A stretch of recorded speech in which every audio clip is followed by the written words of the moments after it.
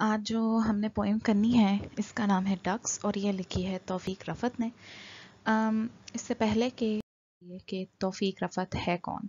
तौफीक Rafat basically Sialkot में पैदा हुए हैं और ये एक पाकिस्तानी पोइट हैं। और ये पाकिस्तान बनने के बाद इंडिपेंडेंस के बाद जो पोइट्री इंग्लिश लैंग्वेज में लिखी गई है, उसका बुनियाद, उसकी बुनियाद रखने में तौफीक रफ़त साहब का एक बहुत प्रोमिनेंट बहुत इंपॉर्टेंट नाम है।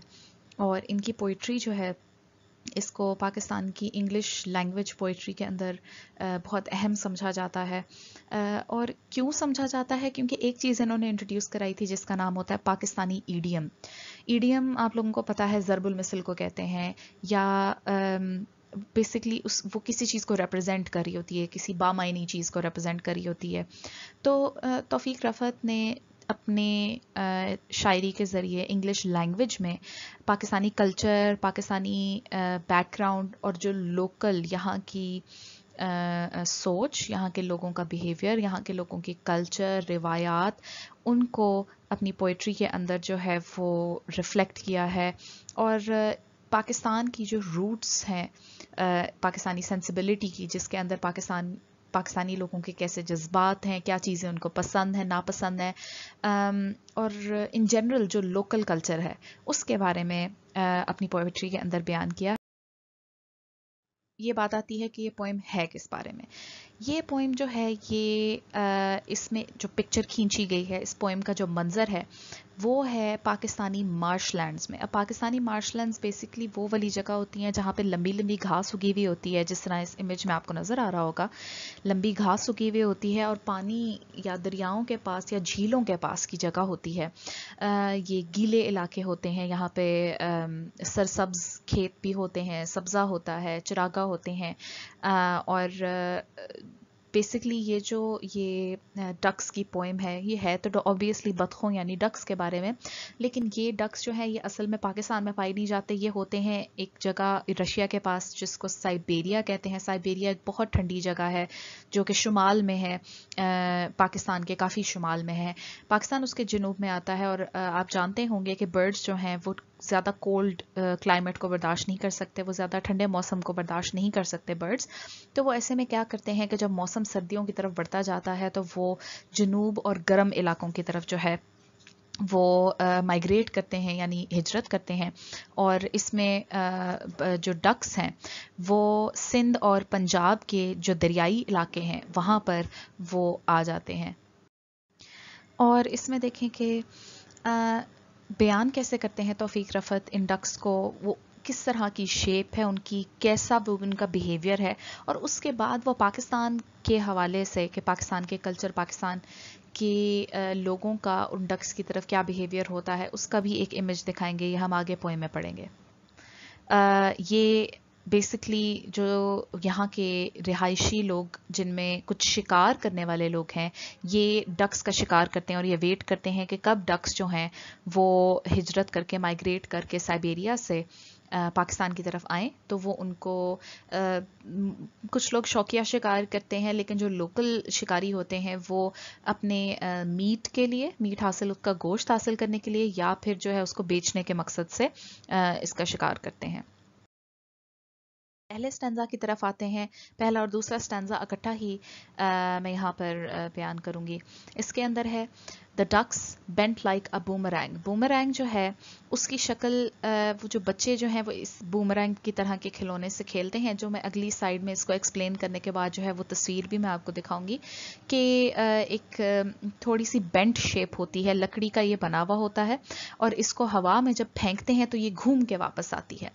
तो कहते हैं कि डक्स की जो शेप है, ये बूमरैंग की तरह है हर्टल अक्रॉस स्काई हर्टल होता है कि जैसे फेंक दिया जाता है। एस जैसे आप एक बूमरैंग को हवा की तरफ़ फेंकते हैं और वो और जिस तरह से उनको जब हवा में फेंका जाता है तो वो लौट के वापस आते हैं। इसी तरह गोल एक, एक गोलाई के अंदाज में ये डक्स जो हैं क्योंकि डक्स ज़्यादा ऊँचा तो उड़ नहीं सकते थोड़ा नीचे की तरफ़ उड़ते हैं।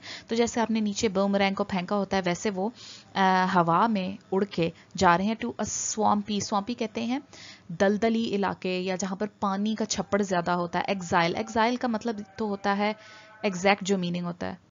मीनिंग आता है जिला वतन करने के मीनिंग में। तो ऐसे लगता है कि जैसे फेंका गया हो एक बूमरैंग को हवा में और उसको जो है वो पाकिस्तान से आ, आ, निकाल पाकिस्तान की तरफ़ निकाल दिया गया हो जिला वतन कर दिया गया हो पाकिस्तान के दलदली इलाकों की तरफ़। और जो बूमरैंग की शेप है ये डक्स की ये एक मेटाफोर के तौर पे यानी तशबी के तौर पे इस्तेमाल हुई है। उसके बाद उसने कहा है कि when winter is over to the dark recesses of Siberia जब जो है वो पाकिस्तान से वापस जाएँगी तो वो कब जाएँगी? जब सर्दियाँ ख़त्म हो जाएँगी, यानी कि जब साइबेरिया में बर्फ़ पड़ना ख़त्म हो जाएगी तो ये जो डक्स हैं, ये लौट के रिसस कोनों में जो साइबेरिया के अंधेरे कोने हैं, उनकी तरफ़ वो लौट के चली जाएँगी। और क्या बिहेवियर बयान किया हुआ है यहाँ पर डक्स का? दे देर दे सेट सनिंग दमसेल्व्स ऐसे जैसे धूप में वो बहुत इंजॉय कर रहे हो अपना जैसे सर्दियों की धूप में हम भी बैठे इंजॉय करते हैं। वो इंजॉय कर रहे हो इस धूप को ऑन द बेयर बेयर कहते हैं ओपन बिल्कुल एक्सपोज लिटिल आइलैंड्स जैसे छोटे छोटे आपको कभी दरिया में नज़र आए हो कि ज़मीन के टुकड़े ऐसे जैसे छोटे छोटे जजीरे हों uh, दरिया के अंदर उनके ऊपर वो बैठे हुए हैं तो कैसे कि उनके इर्द गिर्द पानी है और दरमियान में जैसे वो मूवीज़ में दिखाते हैं कि वेकेशन uh, पर जब जाते हैं जब सैर सपाटे के लिए जाते हैं तो किसी किसी जजीरे पर बैठे हैं और उनके गिर्द पानी है और वो इंजॉय कर रहे हैं धूप को। तो इसी तरह, और कैसे बैठे हुए हैं वो? उन्होंने बहुत ही मज़े से एक सुस्त से अंदाज में, एक इंजॉइंग वाले अंदाज में अपने सर को अपने परों में दिया हुआ है और ऐसे बिल्कुल बेपरवाह बैठे हुए हैं, बिल्कुल रिलैक्स होके बैठे हुए हैं। यहाँ पर जो इमेजेस हैं, इसके अंदर आपको नज़र आएगा कि जो डक्स हैं, ये इस तरह की आपको नज़र आती हैं आमतौर पे बतखें। इनकी शेप जो है ये बूमरैंग की तरह है। बूमरैंग जैसे ये थोड़ी सी, जब ये उड़ती हैं, हम आगे भी इमेजेस देखेंगे डिफरेंट टाइप ऑफ़ डक्स की तो जब ये उड़ती हैं तो इनकी शेप कुछ इस तरह की होती है। ठीक है इनकी इस तरह की शेप होती है। अभी बैठे हुए नहीं जब ये उड़ती हैं। ये डक्स जो है साइबेरिया का ये इलाका इस तरह का होता है दरियावी जमा हुआ होता है। यहाँ से मूव करके ये आते हैं पाकिस्तान के इस तरह के इलाकों की तरफ़ जो सर्दियों में पाकिस्तान की धूप इंजॉय करने आते हैं।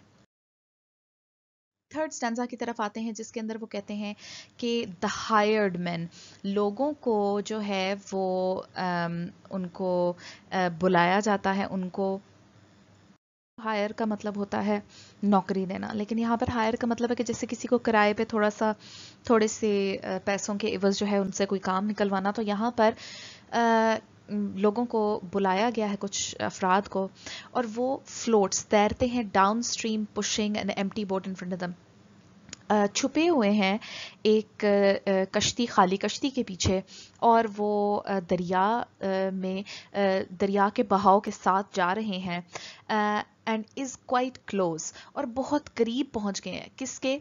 डक्स के। अब यहाँ पर करने वो क्या आ रहे हैं? डक्स का शिकार। तो वो क्या कहते हैं कि एट द राइट मोमेंट ही शोज़ हिमसेल्फ और जैसे ही उसको मौका मिलता है शिकार करने को, वो फ़ौरन आगे, निशाना तान के आगे आ जाता है। आराम से जो है वो डक्स अपना बैठी हुई थी, अपना एंजॉय कर रही थी और यकदम जो है उन पर कोई इस तरह हमला करने आ जाता है। तो ये ऐसे है कि जैसे वो अपने आप को ठंड से बचाने के लिए, जो कि उनके लिए मोहलिक साबित होनी थी साइबेरिया में, वो अपने आप को वहाँ से मौत से बचाकर यहाँ आई थी तो यहाँ पर भी मौत ने उनको अपने शिकंजे में ले लिया है। तो बर्ड्स जो हैं, वो जिस वक्त ये जो हंटर है, ये डक्स को हंट करने के लिए आते हैं तो बर्ड्स बहुत ज़्यादा पैनिक हो जाते हैं, यानी the bird rise noisily in panic घबरा कर जो है वो शोर मचाते उठते हैं and head for the tall grass hiding और वो लंबी लंबी घास के पीछे छुपने के लिए चले जाते हैं। हम जो हैं, हम से मुराद ये पॉइंट ऑफ़ व्यू है शिकार करने वालों का, शिकारियों का। ये क्या कर रहे हैं कि ये अपने निशाने तान लेते हैं अमंग द कन्फ्यूज़न यही जो हबड़ दबड़ सी मची हुई है डक्स की और ये किसके ऊपर निशाना तानते हैं? ब्राह्मणी, टील, पिंटेल एंड मैलड ये किसमें है डक्स की? इनकी भी पिक्चर्स में आगे दिखाऊँगी। इनमें क्या होता है कि पाँच के ऊपर इनका निशाना जो है वो आ जाता है and they suddenly limp limp का मतलब होता है लंगड़ाना।